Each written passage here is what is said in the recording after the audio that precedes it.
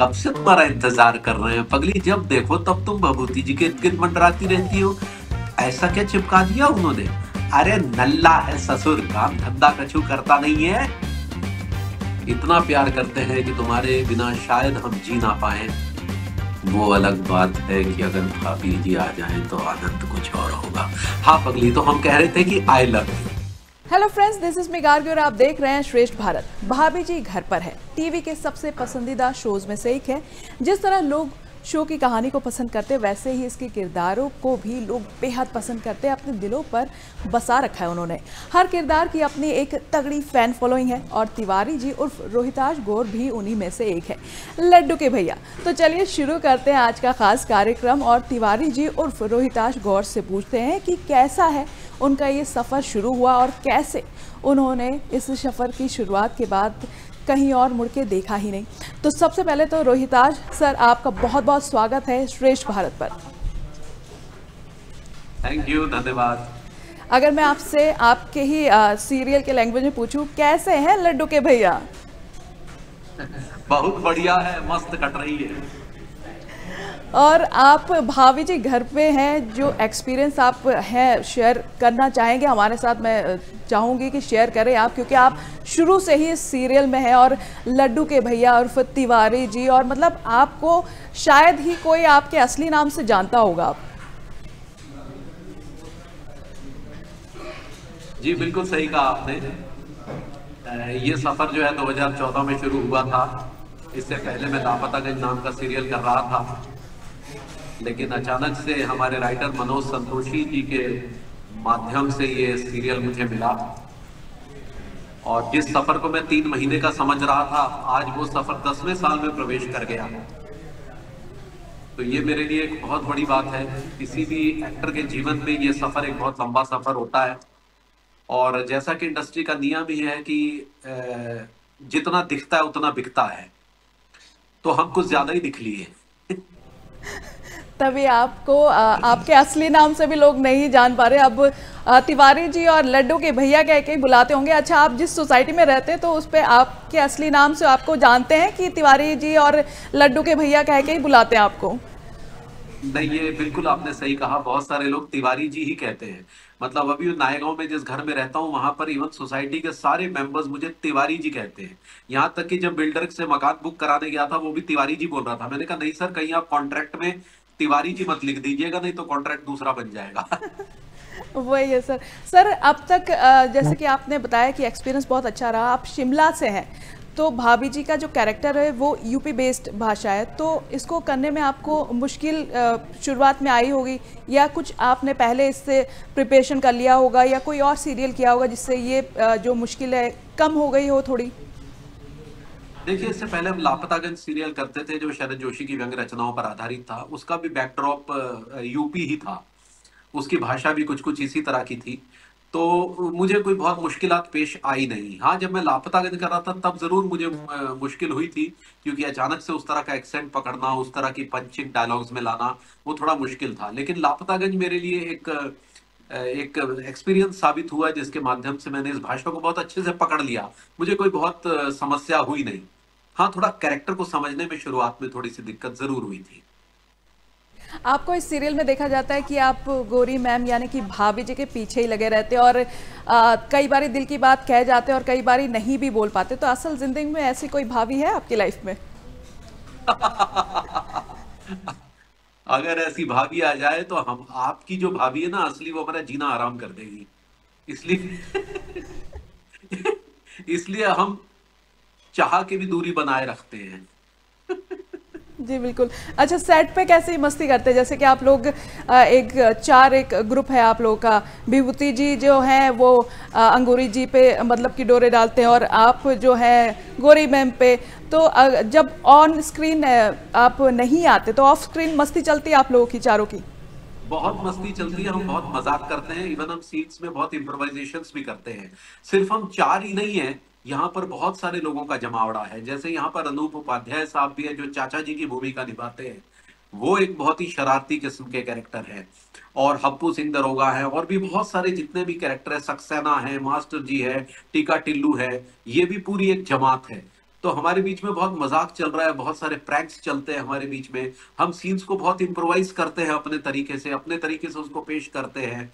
और उसके ह्यूमर को बरकरार रखने की कोशिश करते हैं खासकर उसके देसी एलिमेंट को क्योंकि अगर हम उसके देसी एलिमेंट को नहीं पकड़ेंगे तब तक वो आम आदमी तक नहीं पहुंचेगा। तो यही हमारी कोशिश रहती है। तो बड़ा बहुत अच्छा माहौल रहता है। हँसी मज़ाक ठट्ठा और प्रैंक्स एक दूसरे के साथ खेले जाते हैं। ये सब चलता है जी। विभूति जी से लड्डू के भैया का रिश्ता ऑफ़ स्क्रीन कैसा है? नहीं बहुत अच्छा रिश्ता है। मैं आपको एक बात बता दूँ, हम दोनों ही बेसिकली बहुत गंभीर इंसान हैं। अगर आप हमें वैसे देखेंगे ना तो आप कहेंगे, अरे यार, ये तो बहुत सीरियस दिखते हैं यार इवन बबूती जी भी और हम भी। ये तो बस इस सीरियल ने है ने है जो हमारे ऊपर थोड़ा सा कॉमेडी का थप्पा लगा दिया है। लेकिन हमारी जो ऑफ़ स्क्रीन केमिस्ट्री है, वो बहुत अच्छी है। हम एक दूसरे के काम की, एक दूसरे के आर्ट की एक बहुत कदर करते हैं। और हम दोनों ही रंगमंच से जुड़े हुए कलाकार हैं। मेरा तो खैर बहुत लंबा प्रोफेशनल थिएटर का एक्सपीरियंस रहा है। राष्ट्रीय नाट्य विद्यालय से लेकर राष्ट्रीय नाट्य विद्यालय रंगमंडल। तो पूरा जो एक सफ़र रहा है वो प्रोफेशनल थिएटर का रहा है। तो हमारे अंदर वो थिएटर का डिसिप्लिन भी है। वो आपको हमारे कैरेक्टराइजेशन में भी पता चलता होगा सबको।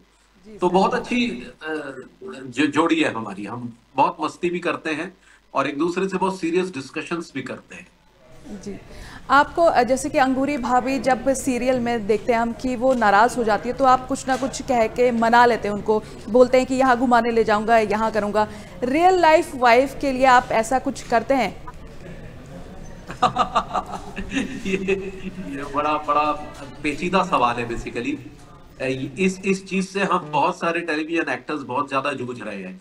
क्योंकि हमारे वर्किंग आवर्स जो है वो इतने हैक्टिक होते हैं कि हम लोग हमेशा हमारी बीवियाँ जो है, असली बीवियाँ, वो हमसे नाराज़ ही रहती हैं।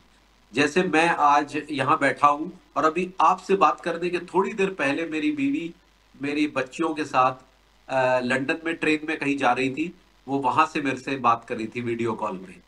मतलब आप ये देख लीजिए कि वो हमारे बिना घूम रही है। क्योंकि हमारे पास उनको घुमाने का टाइम ही नहीं है, इसलिए वो हमेशा नाराज़ रहती है। अभी वो हमेशा यही कहती रहती है काश आप होते तो अच्छा लगता लेकिन कोई बात नहीं नहीं है अभी तो हम क्या करेंगे? घुइया उखाड़ लेंगे। वही सर मेरा अगला सवाल इसी से रिलेटेड है। जैसे कि आपने बोला कि टाइम बिल्कुल नहीं मिलता और डेली सोप करने वालों के लिए खास ये मुश्किल रहती है क्योंकि फोर्टीन फोर्टीन आवर्स तक आप लोग काम करते हैं उससे ज़्यादा भी करते हैं। तो कितना डेली सोप करना कितना मुश्किल लगता है? अब आपको अगर पूछूँ मैं।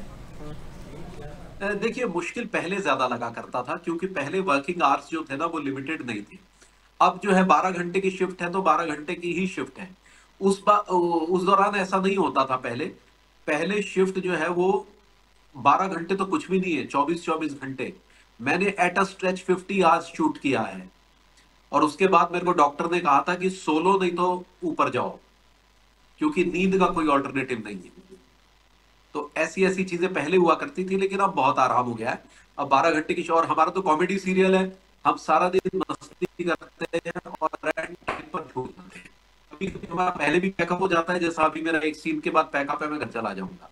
तो अभी बहुत आराम है मस्ती है। जी। अच्छा आपका इस सीरियल में कच्चे बनियान का बिज़नेस है। अगर असल ज़िंदगी में ऐसा कुछ होता तो कैसे रिएक्ट करते आप? देखिए मैं ना मैं बेसिकली इस तरह का आदमी हूँ कि जो काम सामने है उसको शिद्दत से कर लिया जाए। अगर मेरा कच्चा बनियान का बिज़नेस मेरे रियल लाइफ में भी होता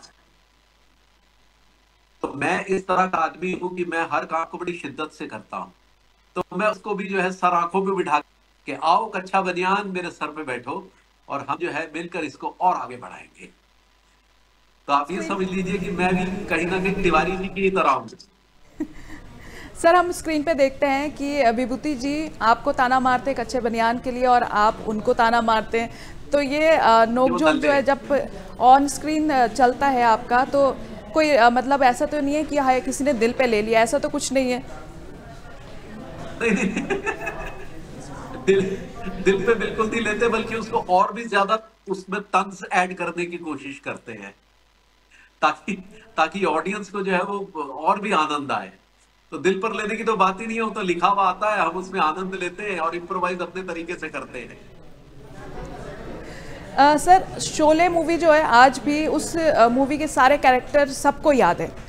तो इसी तरह जो ये सीरियल है भाभी जी घर पर है इसके जो कैरेक्टर्स हैं, लोगों के ज़ुबान पर है। असली नाम तो शायद ही किसी को, किसी का पता हो, लेकिन सबको विभूति जी, ये तिवारी जी हैं, लड्डू के भैया हैं, अंगूरी भाभी, गोरी मैम, ये सब, सबके ज़ुबान पर चढ़ा हुआ है। तो कैसा लगता है आपको कि कास्टिंग कितनी अच्छी की है कास्टिंग डायरेक्टर ने?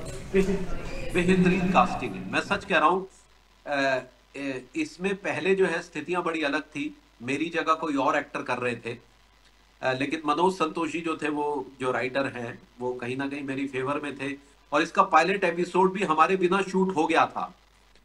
लेकिन उसके बाद ये रीशूट हुए, हुआ, उसकी रीकास्टिंग हुई और चीज़ें बदली गई। गोरी मैम कोई और थी, फिर कोई और आई, अंगूरी कोई और थी तो उसकी जगह शिल्पा शिंदे को लाए पहले पहले साल में। तो ये सब जो है, वो ताना बाना शशांक बली साहब का और मनोज संतोषी साहब का है, बुना हुआ। रियली कास्टिंग बहुत ही परफेक्ट है, जिसकी वजह से ये सीरियल बहुत पसंद किया जा रहा है। ऐसा लगता है कि तमाम किरदार जो है वो इन्हीं चरित्रों के लिए बने हैं। चाहे वो डॉक्टर साहब ही क्यों ना हो, चाहे वो मास्टर साहब ही क्यों ना हो, बहुत छोटे छोटे किरदार भी ऐसा लगता है ये चरित्र इनके लिए बने। तो ये खूबसूरती जो है वो बेसिकली शशांक बली की और राइटर मनोज संतोषी साहब की है। जी। सर, आप पूरे दिन तो शूट करते रहते हैं, लंबी लंबी लाइंस याद करना पड़ता है आपको, लेकिन आपसे एक रिक्वेस्ट है कि आप अपने इस चैनल के माध्यम से आप हमारे फैंस के लिए कुछ ऐसा कर दीजिए और लड्डू के भैया के स्टाइल में कुछ अगर, कुछ लाइंस अगर आप बोल दें। अरे, पगली कहाँ गुम हो गई? कब से तुम्हारा इंतज़ार कर रहे हैं? पगली, जब देखो तब तुम भभूति जी के इर्द गिर्द मंडराती रहती हो। ऐसा क्या चिपका दिया उन्होंने? अरे नल्ला है ससुर, काम धंधा कछु करता नहीं है। हमारा बस चले तो साले घुइया खेत में भेज दे। अब से तुम कहीं नहीं जाओगी, जहाँ रहना यही रहो, समझी? आज से तुम्हारा खाना पीना, उठना बैठना सब कमरे में होगा, बाहर नहीं निकलोगी, समझी? पगली कहीं thank you so much sir कि आपने सुनाया और फैंस तो बहुत ही खुश हो गए होंगे। लेकिन मैं आपसे ये जानना चाहूँगी बीच में एक इंटरव्यू आया था कि आप शायद अगर ये सीरियल अगर छोड़ते हैं इसके बाद आप टीवी पे नहीं दिखेंगे ऐसा कुछ है क्या? देखिए टीवी ने वैसे तो मुझे सब कुछ दिया है। हम जिस दौर में टीवी में आए थे उस समय या तो फ़िल्में थी या टीवी था। ये जो ओटीटी माध्यम है ये था ही नहीं। और जब हम आए थे तो टीवी उस समय बूम पे था, अगर आपको, आपने देखा होगा उस समय सास बहू सीरियल्स जो थे क्या क्योंकि सास भी कई बहू थी, ये वो तमाम चीज़ें उस समय आ रही थी, बहुत सारे फ़िल्म के एक्टर्स टीवी में आ रहे थे। तो टीवी ही था। फ़िल्म, फ़िल्मों में हीरो ओरिएंटेड फ़िल्में थी हीरो हीरोइन विलेन तो कैरेक्टर रोल्स के लिए कोई स्थान था ही नहीं उस समय।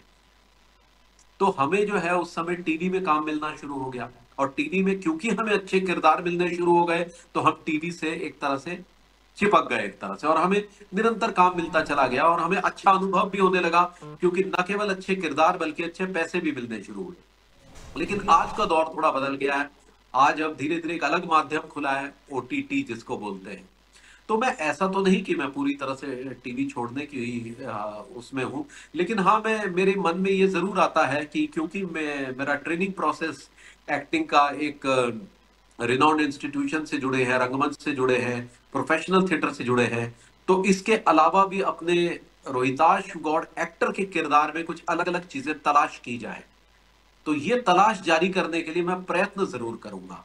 लेकिन ये नहीं कि मैं टीवी छोड़ दूँगा, ऐसा नहीं है। टीवी से मुझे बहुत लगाव है और टीवी के ही वजह से आप मेरा इंटरव्यू ले रहे हैं आज। जी बिल्कुल। लड्डू के भैया को अगर हम ओटीटी में देखना जाए जल्द से जल्द तो आपसे जानना चाहेंगे आप डायरेक्ट तो नहीं बताएँगे लेकिन क्या ओटीटी के लिए कुछ आपके पास प्रोजेक्ट्स हैं फ़िलहाल के लिए? हाँ एक प्रोजेक्ट है। आ, मैंने अभी किया भी है। अभी वो आ, क, मतलब चल रहा है। उसका एक शूट तो हो गया है। वो एक क्लासफुल नाम से एक सीरीज़ है जो कि हमारे एजुकेशन सिस्टम के ऊपर है। जो हमारे छोटे छोटे गाँव में जो स्कूल होते हैं, उस तरह का जो, वहाँ का जो तंत्र है, उसके ऊपर ये वेब सीरीज़ इसका नाम है क्लास फुल तो इस वेब सीरीज़ पर हम काम कर रहे हैं।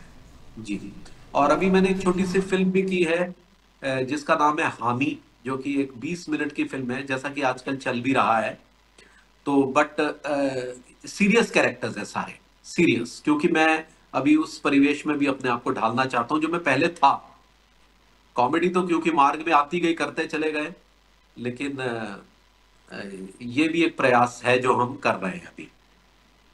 जैसे कि अभी आपने बोला सीरियस कैरेक्टर और, और आप उस पर अपने आप को ढालना चाह रहे हैं क्योंकि आ, मुझे ऐसा लगता है कि कॉमेडी करना शायद ज़्यादा मुश्किल होता है। सीरियस रोल तो बहुत इजीली कर लेते हैं। बिल्कुल आपने बिल्कुल सही फरमाया कॉमेडी करना वाकई बहुत मुश्किल है। किसी को हंसाना कोई आसान काम नहीं है बिल्कुल नहीं है। आ, लेकिन क्या होता है ना कि हमारी इंडस्ट्री का एक अजीब सा दस्तूर है। यहाँ पर अगर आपके ऊपर एक बार कॉमेडी का ठप्पा लग गया तो फिर आपको उसी नज़र से वो लोग देखने लगते हैं। तो ऐसे में एक एक्टर के लिए बड़ा मुश्किल होता है अपने आप को तोड़ना अपने आप को किसी तरह से। तो कोशिश यही है कि कुछ सीरियस काम किए जाएँ अभी। लेकिन डेफिनेटली कॉमेडी बहुत बहुत मुश्किल है आसान नहीं जी, बिल्कुल सर, जैसे आप लोग हंसाते हैं हमें और सभी लोग देखते हैं और जो पूरी दिन भर की टेंशन होती है, वो सब लोग भूल जाते हैं। और ऐसे सीरियल बनाने के लिए आप सभी लोगों का बहुत बहुत शुक्रिया। और लड्डू के भैया का हमसे बात करने के लिए बहुत बहुत शुक्रिया। लड्डू के भैया, आपसे ये जानना चाहेंगे कि जाने से पहले अगर आप अंगूरी जी को कुछ बोलना चाहें, अपनी ही अंगूरी जी को, यानी कि अपनी वाइफ को तो क्या कुछ बोलना चाहेंगे तिवारी जी के स्टाइल में? अंगूरी हम तुमसे बेनतहा मोहब्बत करते हैं। इतना प्यार करते हैं कि तुम्हारे बिना शायद हम जी ना पाए। वो अलग बात है कि अगर भाभी जी आ जाए तो आनंद कुछ और होगा। हाँ पगली तो हम कह रहे थे कि आई लव यू बहुत बहुत शुक्रिया सर हमसे बात करने के लिए समय निकाल के। आपका बहुत बहुत शुक्रिया। थैंक यू धन्यवाद। तो ये थे हमारे साथ रोहिताश गौर, जो कि तिवारी जी हैं, भाभी जी घर पर हैं और साथ में ही और इसी सीरियल में और लड्डू के भैया के नाम से भी मशहूर हैं। तो आपको कैसी लगी ये हमारी ख़ास कार्यक्रम? आप कमेंट करके ज़रूर बताइए। बाकी ऐसे ही और ख़बरों के लिए आप देखते रहिए श्रेष्ठ भारत।